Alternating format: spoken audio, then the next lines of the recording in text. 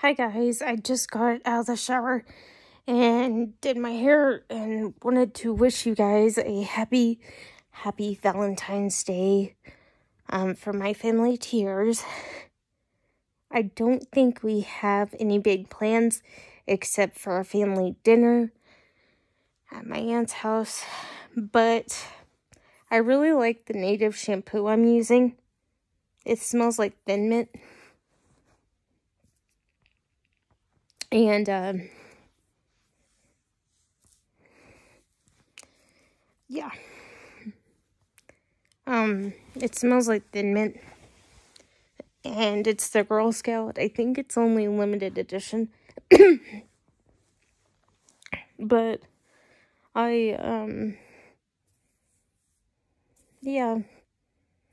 I blow dried my hair and styled it and tomorrow I'm gonna get up, get dressed. I thought about wearing a 1950s dress tomorrow, but I'm gonna have to do that video next week because, like, the ring mop that I found and a lot of other vintage stuff is not gonna come in till next week. So keep that in mind. We will do a 1950s housewife video for you.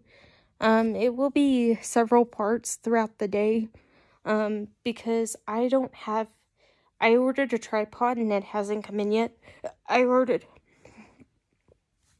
Sorry, I have hiccups.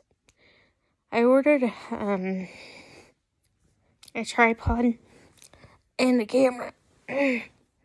back in December and it just now shipped. And we're in February.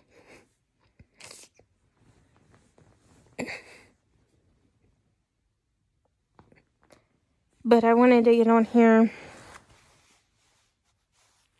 and do a really quick video for y'all.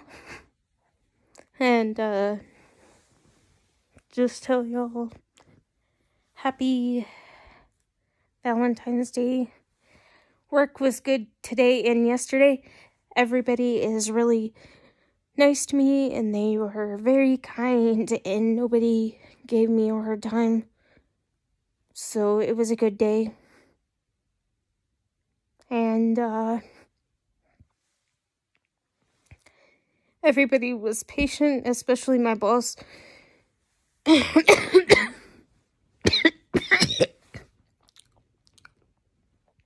sorry.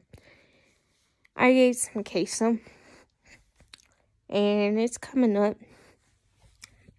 It's like heartburn. So I may have to take a Nexium. But on that note, I'm going to go to bed because I am tired and I will see you guys tomorrow.